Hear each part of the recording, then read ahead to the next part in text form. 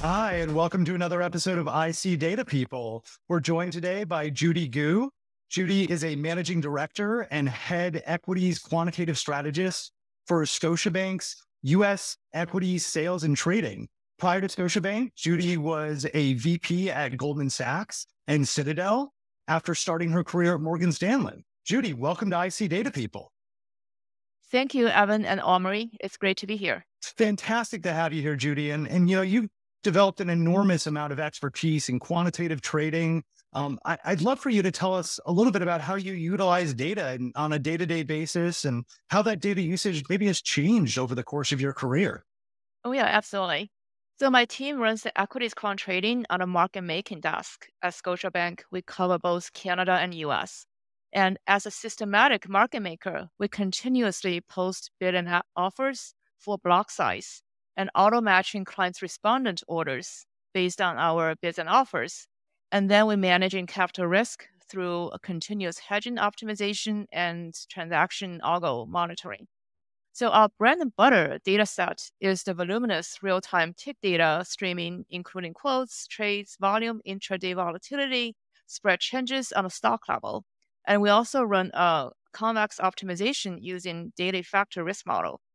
So aside from this uh, bread, bread and butter data, we derive our own intraday technical signals to gauge market dislocations and stock idiosyncratic risk.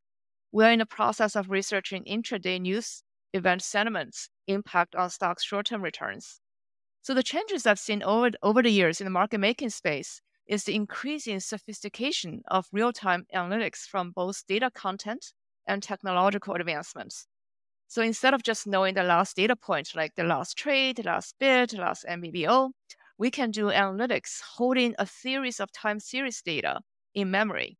So we can do a trend analysis and mean reversion analysis. So in, in addition, um, building a real-time multi-factor model looking at fundamental updates like news, technical signals like real-time dislocations, liquidity factors, all commingled into guiding our risk management is another big trend developed over the years, over recent years. In addition, uh, in addition to that, I'll also like to mention the transformative changes of how clients like ourselves receiving data over the years. And not very long ago, banks depend on data technology groups to load all the raw data feeds from vendors on their own onto their own database servers. The process can be challenging and costly, uh, and this process has been transformed towards efficiency in both time and cost through uh, cloud technologies and streaming technologies like messaging queues and APIs.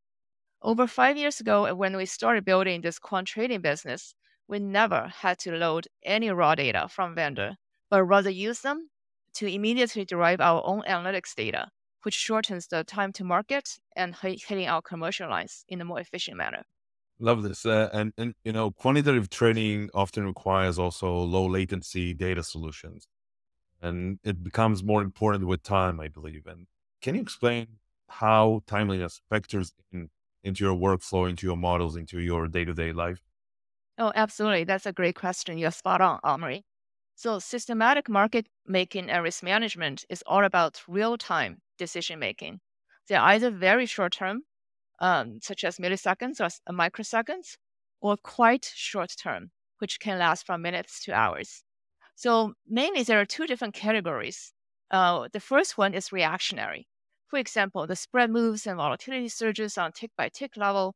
Our market making pricing engine reacts to stock level market conditions on that milliseconds or microseconds level.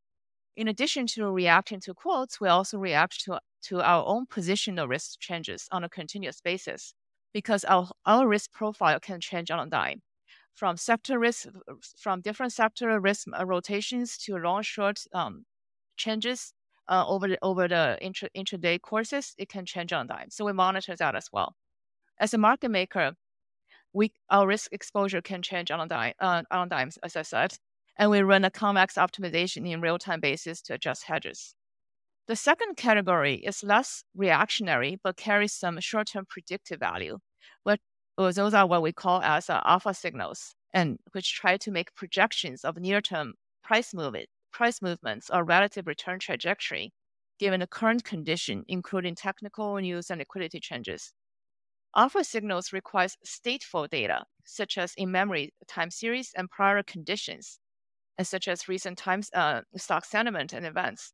So those data points will either be calibrated through statistical or machine learning models on historical basis for the intraday parameters or calculated through intraday time series to make near-term predictions. So both reactionary and near-term predictive or trajectory um, signals uh, all happens in a very low latency space. Thanks so much for this. Uh, and one very interesting point that uh, we usually uh, uh, usually don't get from the show is, well, what types of data set you wish you had access to, but you currently don't have. Yeah, that's a great question too. It talks about my daily pain, right?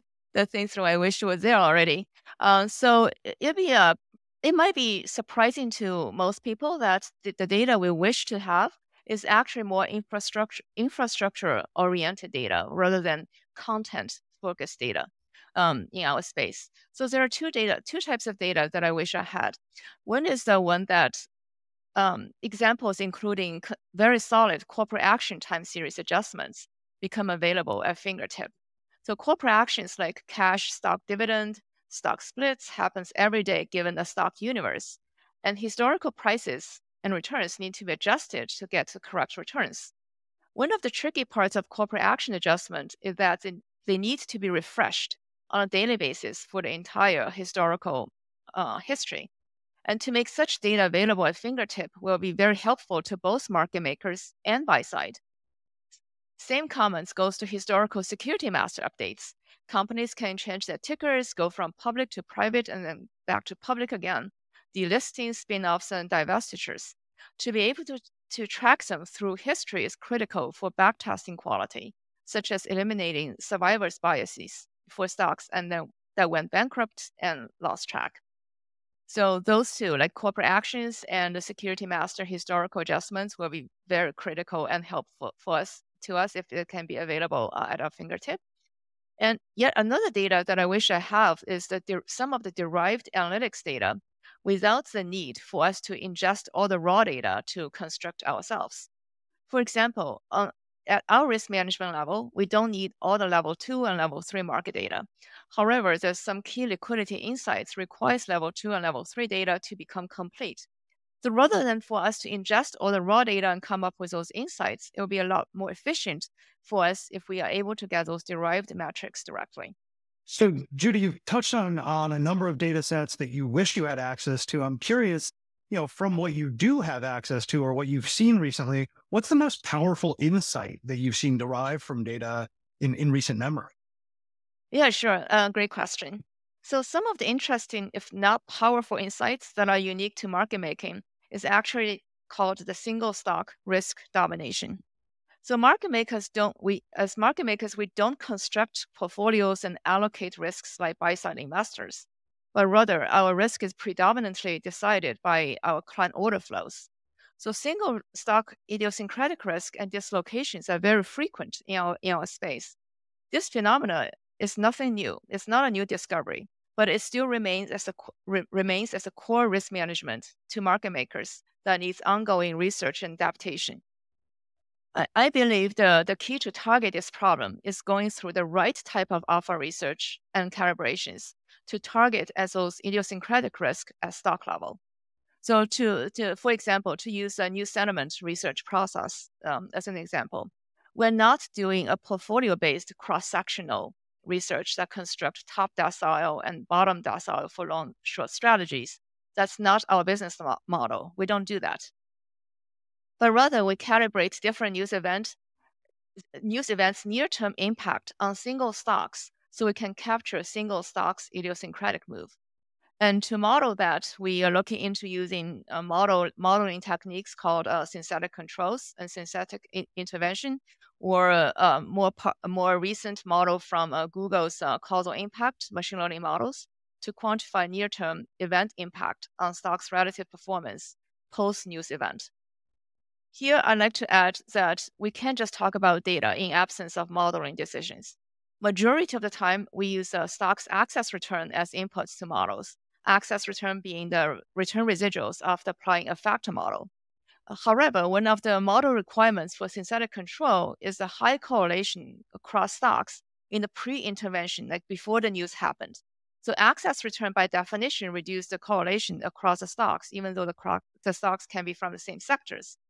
Uh, but on the other hand, using stock returns or stock prices may introduce confounding factors like sector or market move.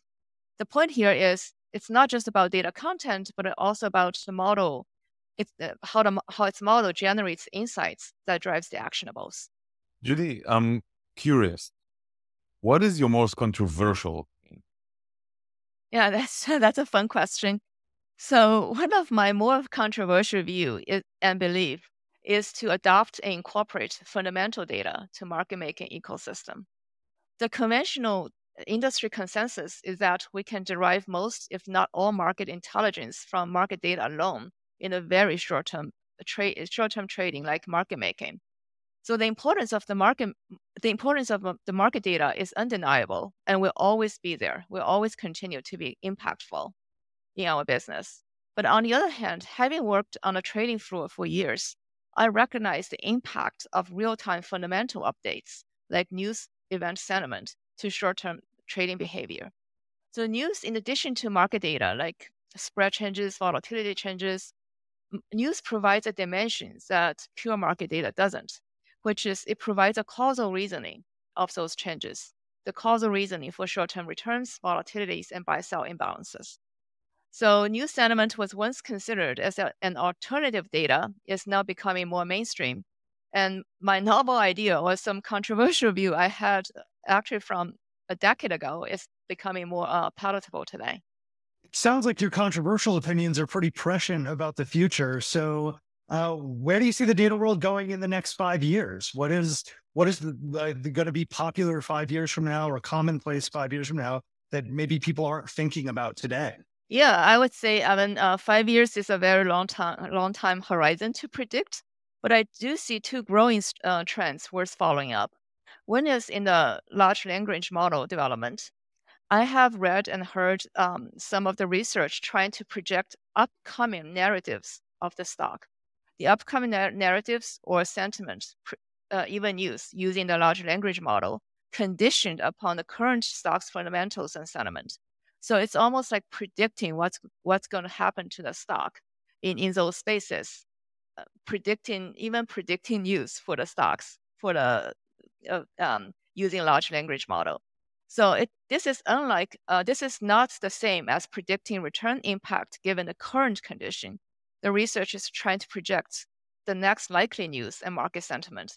And if we can get that right, we can use it for a longer term, longer term projection and then reverse engineering out what we can do better in the short term.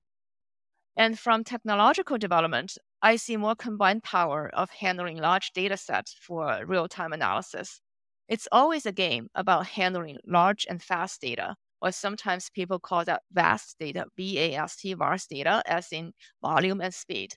The collaboration between uh, cloud technology and other database, um, more performance driven database like vector database, can bring down the technology barriers in a material, material way in the future. Judy, that's uh, I think a, an ambitious prediction about the future, and I and what I'm I'm excited to see. Um, I, you know, given your prescience in the past, I, I suspect you'll probably, you're probably right. But, uh, most importantly, thank you so much for being a guest on I See Data People. It's great to be here. Thanks for inviting me.